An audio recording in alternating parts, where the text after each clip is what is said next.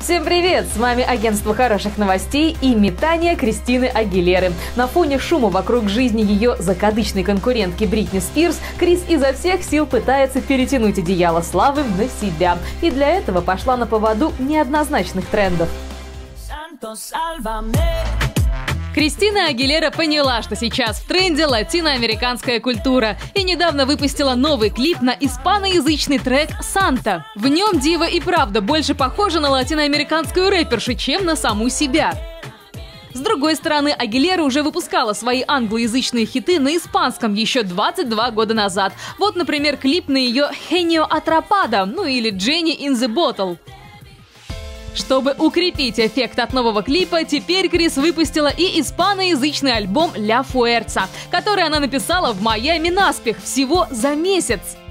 Это всего лишь первая часть из трех альбомов, которые я планирую выпустить в течение этого года.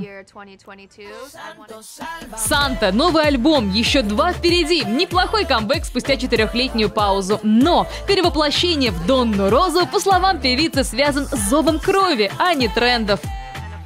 Я выросла в испаноговорящей семье. Папа был из Эквадора, а моя мама была его переводчицей с испанского.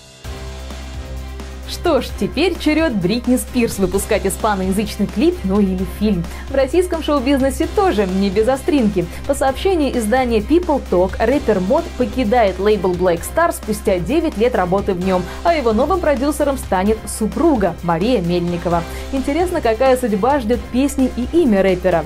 Тем временем в Нидерландах непонятна судьба музеев и театров. По решению властей они закрыты, в то время как салоны красоты открыты для всех желающих. Но арт Кураторы нашли креативный выход из этой ситуации.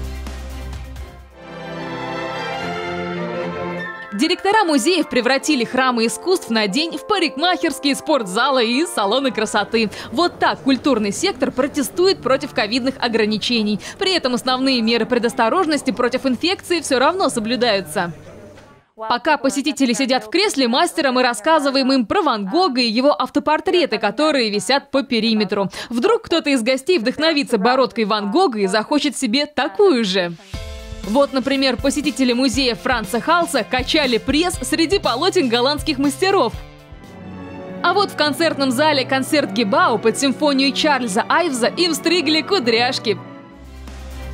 Да, такие ситуации лишний раз напоминают, что из любой ситуации можно найти выход, подключив фантазию. На этом выпуск агентства хороших новостей подошел к концу. Всем пока!